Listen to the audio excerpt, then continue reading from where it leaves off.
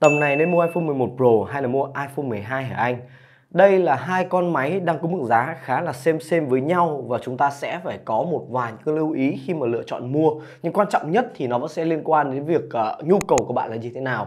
Ok, trong video này chúng ta sẽ cùng nhau đưa ra một vài những cái vấn đề liên quan đến nhu cầu sử dụng thì xem bạn sẽ phù hợp với iPhone 12 hay là iPhone 11 Pro nhá. Chào mừng các bạn đã đến với NT Studio. Đừng quên để lại một like và một subscribe ủng hộ những video mới nhất đến từ mình.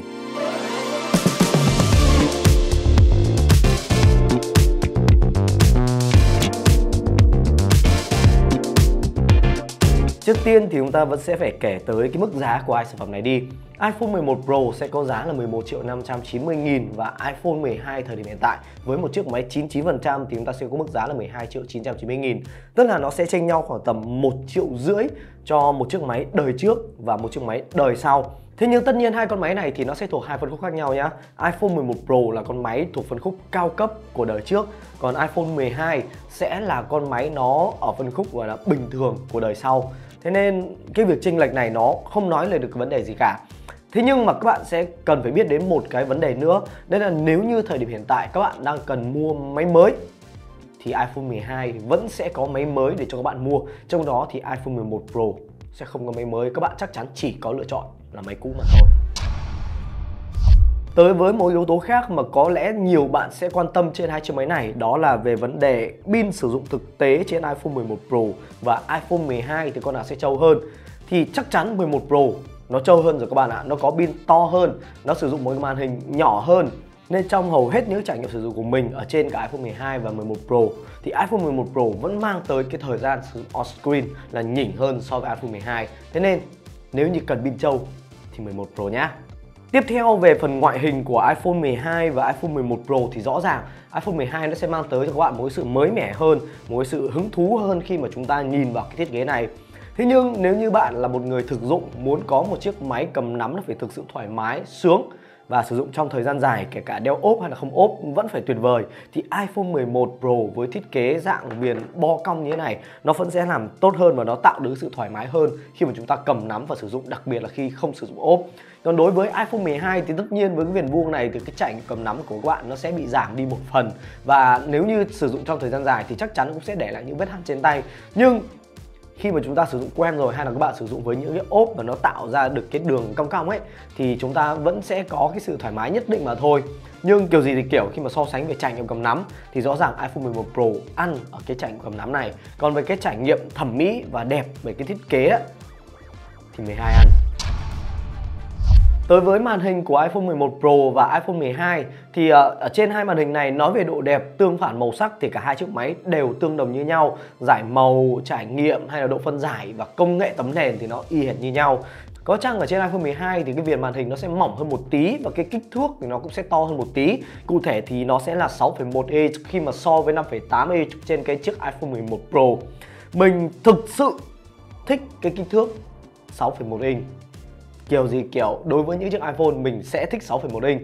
Không thích 6,5, không thích 6,7 cũng chẳng thích 5,8 6,1 inch đối với mình nó giống như kiểu là một cái kích thước vàng đấy các bạn. Nó vừa đủ nhiều không gian và nó cũng vừa đủ để mang lại một cái tổng thể chiếc máy nó gọn gàng.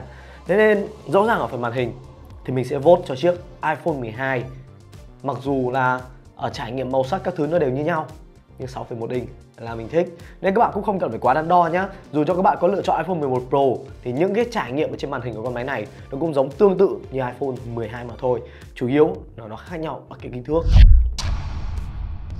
Còn về hiệu năng trên hai chiếc máy này thì mình phải khẳng định với các bạn dù cho bạn sử dụng 11 Pro hay là sử dụng 12 thì các bạn vẫn sẽ có những cái trải nghiệm là tương đồng với nhau kể cả ở trong sử dụng hàng ngày cho tới khi mà các bạn sử dụng nó để chơi game.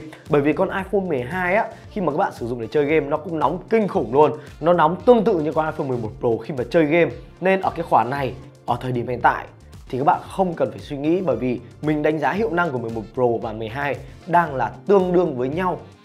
Nó đang là tương đương với nhau và nếu như bạn muốn biết cụ thể cái hiệu năng của 11 Pro hiện tại khi mà chơi game như thế nào á Thì đây, mình đã có một video mới test cách đây khoảng tầm 2 ngày thôi nhá. Xem lại để có thể biết xem iPhone 11 Pro hiện nay nó đang như thế nào. Còn về vòng đời thì chắc chắn là iPhone 12 ra mắt sau một năm thì nó sẽ được hỗ trợ lâu dài hơn một năm so với iPhone 11 Pro và cũng như đối với iPhone 12 nó cũng sẽ nhận được một vài những cái điểm gọi là ưu ái hơn như là chúng ta sẽ có tính năng mở khóa bằng Face ID khi mà đeo khẩu trang. Trong khi đó thì thế hệ từ iPhone 11 Pro sẽ không nhận được cái tính năng này. Nên đây cũng sẽ là một cái điểm nữa để cho bạn có thể hướng tới iPhone 12 cũng được. Cuối cùng sẽ là về trải nghiệm camera trên iPhone 12 và 11 Pro. Thì tất nhiên khi mà nhìn vào hai cụm cam này, iPhone 11 Pro nó sẽ mang tới cho chúng ta sự pro hơn.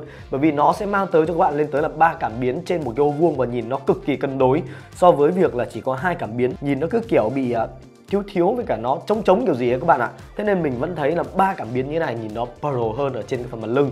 Thế nhưng trong việc sử dụng thực tế thì à, cái nhu cầu của mình nhá, thì mình chỉ thường xuyên sử dụng một là camera chính hai là camera ultra wide mà thôi. Còn gần như trong tất cả những trường hợp mình không sử dụng tới cái camera tele, nên các bạn cũng cần cân nhắc vấn đề này. Bạn có hay zoom hay không? Bạn có hay dùng camera tele hay không? Thì mới lựa chọn những chiếc máy có 3 cam. Còn nếu mà mua về chỉ để đẹp thôi á thì cũng được. Miễn sao là bạn phải biết là nếu như chọn iPhone 11 Pro thì chúng ta sẽ phải hy sinh một số thứ. Ví dụ như là kích thước tỷ lệ màn hình nó không được là kích thước vàng này, hay là chúng ta cũng sẽ có một cái vòng đời nó chậm hơn một năm này, và chúng ta cũng sẽ có một chiếc máy không hỗ trợ 5G và thêm nữa thì nó cũng sẽ không hỗ trợ khẩu trang. Trong khi đó thì nó sẽ có thêm một gam này, nó có trải nghiệm cầm nắm sướng hơn này. Đó, pin của nó cũng sẽ trâu hơn thì đó, nhu cầu của bạn là như thế nào thì các bạn sẽ lựa chọn chiếc máy như thế. Mình đã liệt kê tất cả những ưu điểm và nhược điểm của hai máy để cho bạn có thể thấy rõ nhất về việc lựa chọn hai con máy này. Quan trọng nhất nó vẫn sẽ đến từ việc đó chính là iPhone 12 thì vẫn có máy mới để cho các bạn có thể mua, còn iPhone 11 Pro thì không có.